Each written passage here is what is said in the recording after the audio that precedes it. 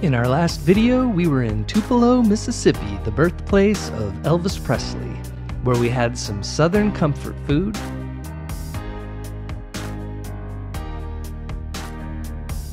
We strolled the streets of this historic Mississippi town.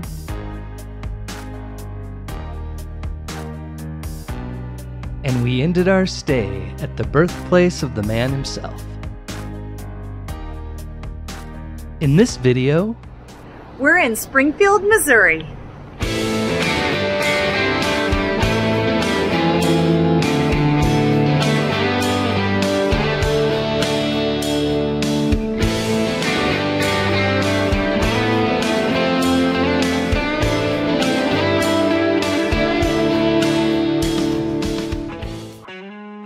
Springfield, Missouri is our third and final stop on our return trip of what we called Wanderlust 2022, our epic journey from Kansas to Central Florida and back again.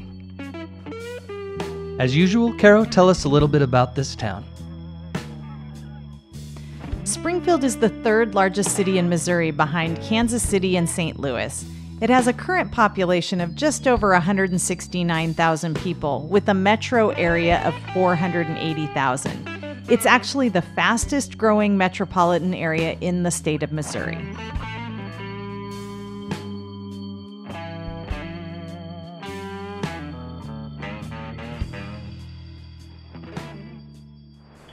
So today we're in downtown Springfield, Missouri, which is right near the campus of Missouri State University. We came in on historic Walnut Street, so our plan is we're going to find something to eat and explore around downtown.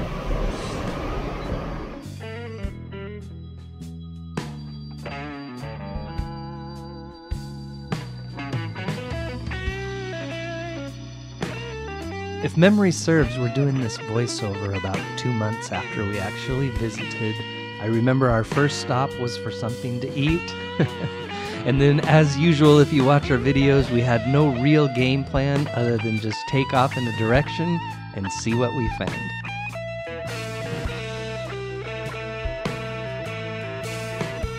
Springfield had an Old West kind of feeling, and actually, one of its notable residents, maybe infamous residents, was Wild Bill Hickok, folk hero of the American West, known for his many gunfights and often outlandish, if not fictitious, tales.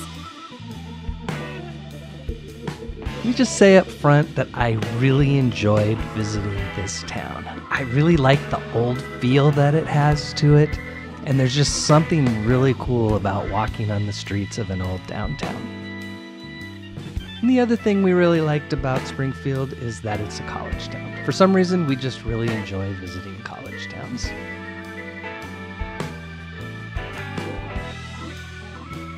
You can see here from this sign that Springfield is the birthplace of Route 66, which we did not know until we visited. This harkens back to the 1920s when the U.S. government mandated formation of a national highway system. yeah, it seems every town has its claim to fame. Uh, the town before this one, Tupelo, the birthplace of Elvis Presley. The one before that, Montgomery, uh, birthplace of civil rights. I guess that's what makes traveling so cool.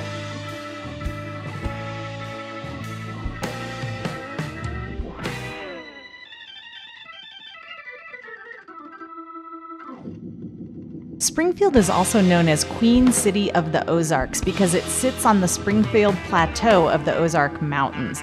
It's really known for its outdoor recreational activities. There's over 100 city parks and 140 miles of bike trails in this town.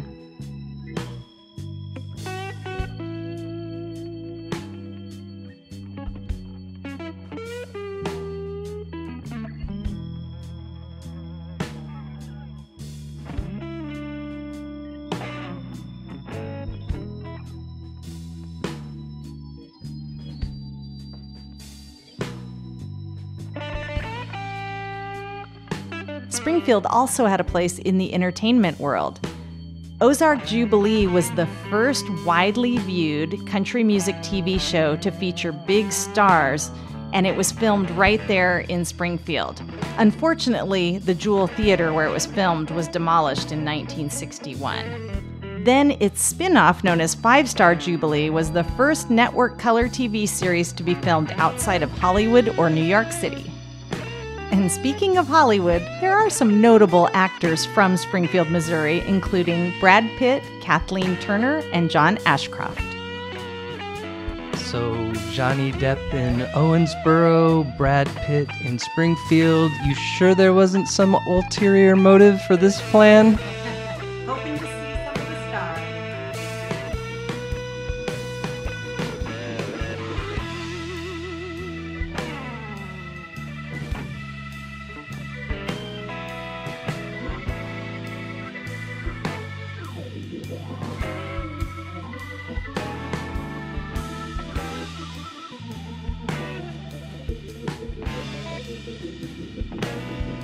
After a little aimless wandering, we finally got to the part I'm always most excited to check out the historic downtown.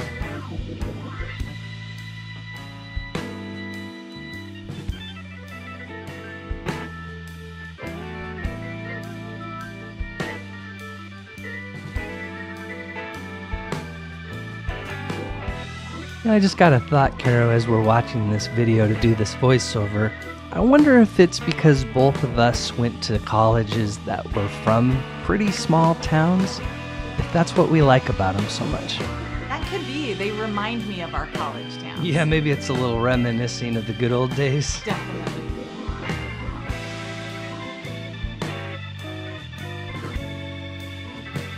And speaking of college towns, as we mentioned, it is the home of Missouri State University, which was founded in 1905 and is the second largest university in the state.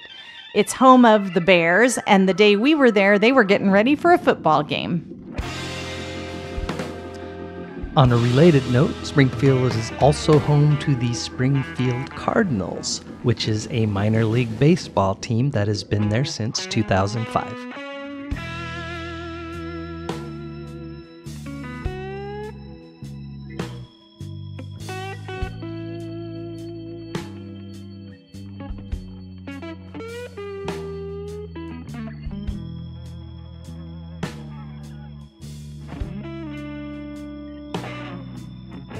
Since our previous video was in the birthplace of Elvis Presley, Tupelo, Mississippi, this seems like a good time to say that Springfield has a little tie to the king as well. The Best Western, Route 66, is actually a hotel that the king himself stayed there in 1956.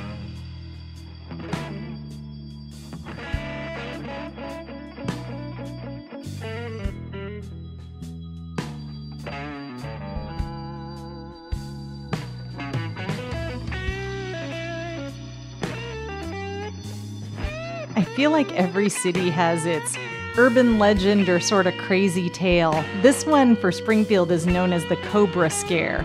So in 1953, they actually killed 10 cobras in downtown Springfield. And it made national headlines because a cobra actually made its way onto the city seal. Well, it wasn't until 1988, over 30 years later, that they found out why, where these snakes had come from. They discovered that back in 1953, a 14 year old released the snakes from a crate at a pet shop because he was mad at the owner. finally caught up with them 30 years later. Apparently so. He must have figured the statute of limitations on snakes had run out.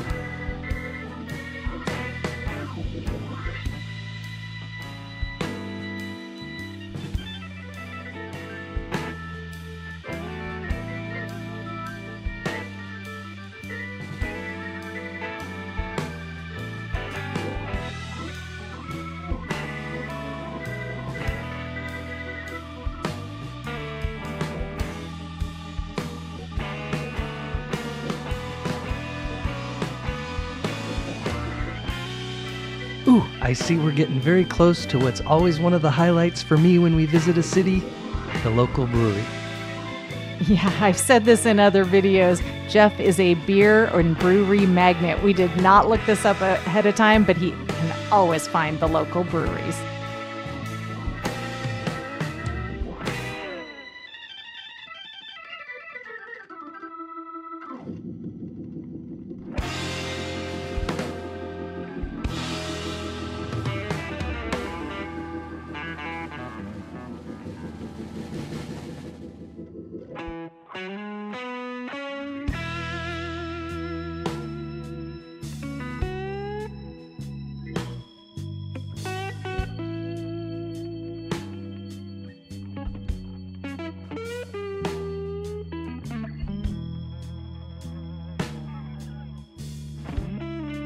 To Jeff's delight, we went in and sampled some of their local beers, which they've been brewing for over 25 years.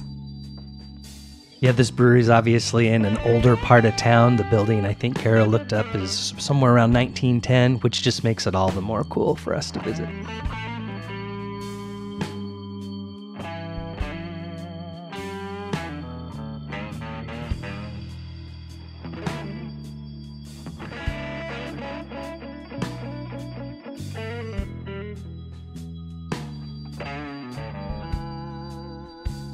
Here we see Casper's, the historic Route 66 diner, which sadly relocated just prior to our visit.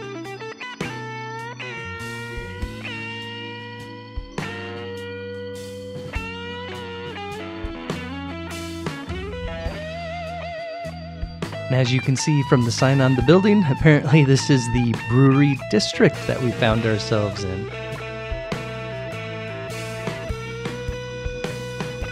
If you're into self guided tours like we are, you can see they have placards about the Battle of Springfield located throughout the downtown.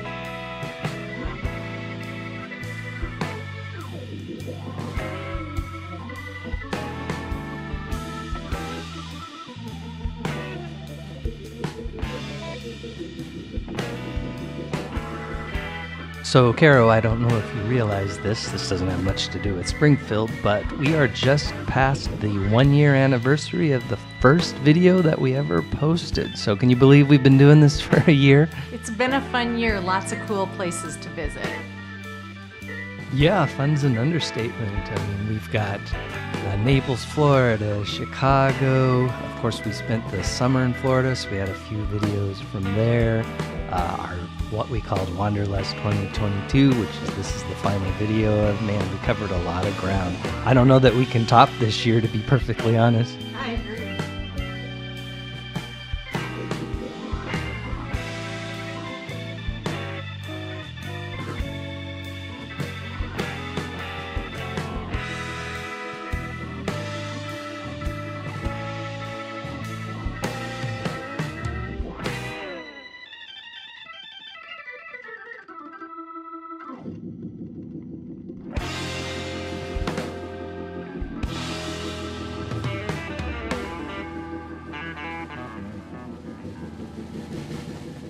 Travel videos often talk about food, but here's a food fact you might not expect to hear. I just learned that the USDA keeps billions of pounds of cheese in underground caves just outside of Springfield.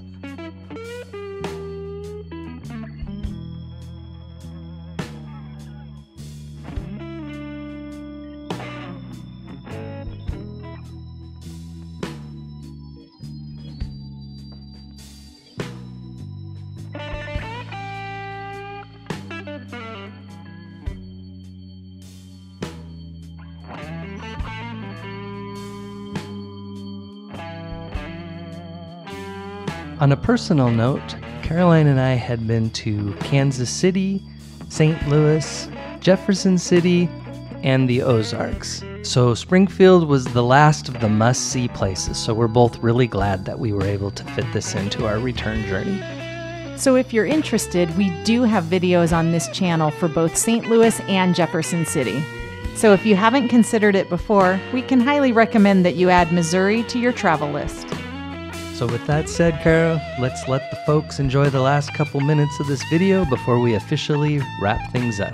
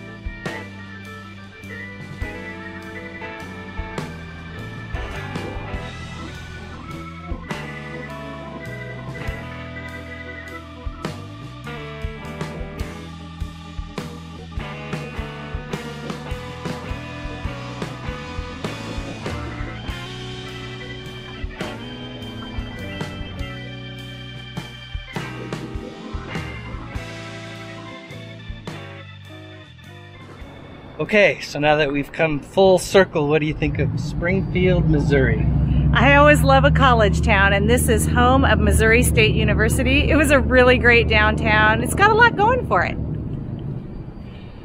Yeah, as soon as we turned down Walnut Street, I knew I was going to like this one. The historical homes. Mm-hmm. This downtown is is really neat. It's it's definitely an eclectic mix of really old and new. Um, so it makes for just a visually interesting exploration. Um, so yeah, I definitely give it a thumbs up. Me too. All right, get off the couch. We'll see you next time. Cheers.